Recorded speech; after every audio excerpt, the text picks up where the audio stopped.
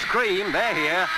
George, John, Paul and Ringo, the monarchs of Merseyside Town. On the 9th of February 1964, the Beatles would perform on The Ed Sullivan Show for 70 million live viewers, which was almost 50% of the population that owned a TV in 1964. 20 days before, Capitol Records would release their first American album on their label, Meet the Beatles, which looked a little different than the original UK version with the Beatles. And today we're going to be looking at the differences in the albums and why they were different. First off, why were the albums different? Thank you, folks. Well, to understand this, we have to look at the way albums were constructed in the US.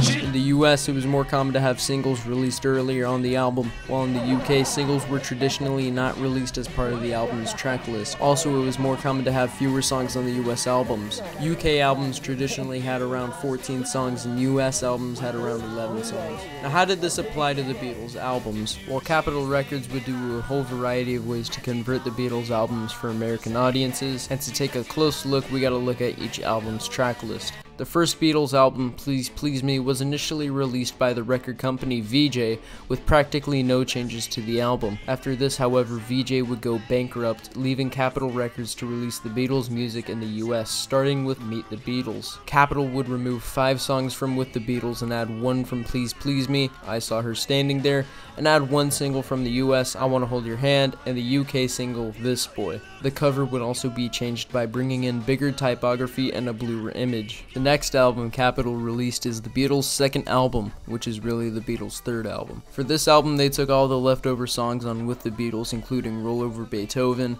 Money, You Really Gotta Hold On Me, and more. They would grab the B-side of From Me to You, which is Thank You Girl, the first two songs off the Beatles' EP Long Tall Sally, which included the title track and I Call Your Name, and a song from their upcoming album and movie, A Hard Day's Night, You Can't Do That. For the album cover, they would do a photo collage of the band with the pictures having a sort of orange tint to them. Later in the year, the Beatles would release the movie A Hard Day's Night and the album A Hard Day's Night in the UK. When the album was released in the US 14 days before the UK album, there was quite a few changes. For the track list, they would take 8 tracks from the UK album of A Hard Day's Night, with the other 4 tracks being instrumentals. For the album cover, it would feature the Beatles in the same vein as the UK album cover, except only having 4 photos and having a red background. This cover also kind of alludes to the Beatles' final album cover for Let It Be, but we'll get to that later. Not too long after the album came out, in fact 24 days after the album came out, they would release something new, an album I actually own on vinyl. For the track list, they would add 7 tracks from A Hard Day's Night, 2 songs from the Long Tall Sally EP,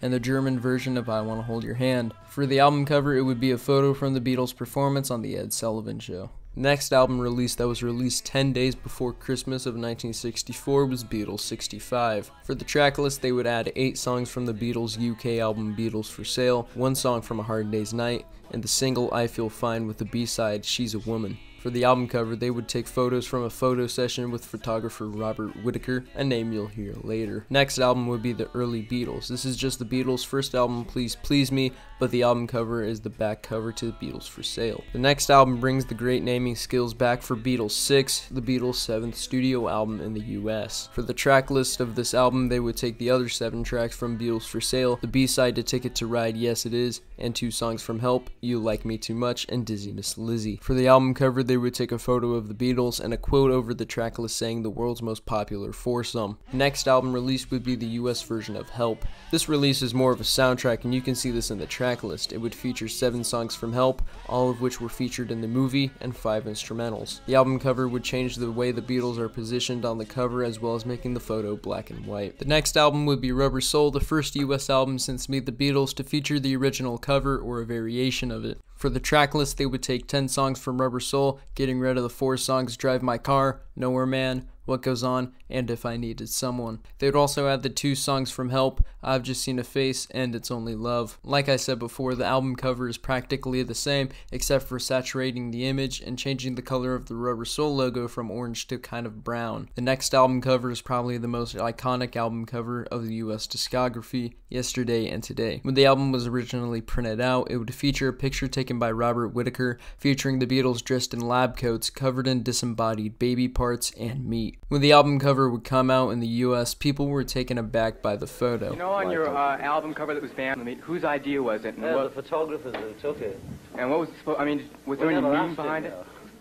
Capitol would then recall as many albums as possible and change the cover to a stock photo of the band. This would lead to the Butcher cover, as it's known to be a rare collector's item for fans, reaching multiple thousands of dollars in price. For the track list of the album, they would take the remaining songs off of Rubber Soul and Help, three songs from the upcoming Revolver album, and the double A-side single We Can Work It Out and Day Tripper. One month and 24 days later, Capitol would release the US version of Revolver, the last album to be changed by Capitol. For this album, they would change practically nothing about the Grammy winning artwork by Klaus Voormann. The tracklist would also have nothing changed except for the removal of the three songs Capitol put on Yesterday Today, I'm Only Sleeping, And Your Bird Can Sing, and Dr. Robert. The next album would be Sgt. Pepper's Lonely Hearts Club Band, the first Capitol album to have nothing changed, except for the running out groove of the vinyl to not feature the sound on the UK version.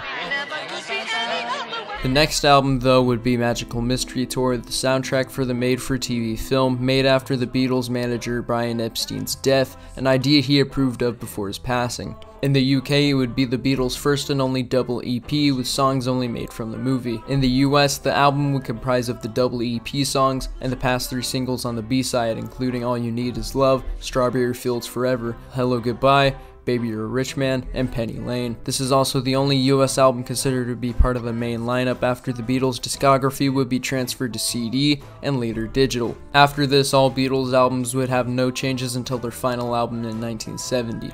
After this, multiple compilation albums would be released, including the Red and Blue albums, Hey Jude, and more notably, Past Masters, comprising of every single they would release until they broke up. With all that wrapped up, I hope you enjoyed this video. It was one of my most comprehensive and researched videos I've made. But with all that out of the way, my name is Aidan, and I'll see you later.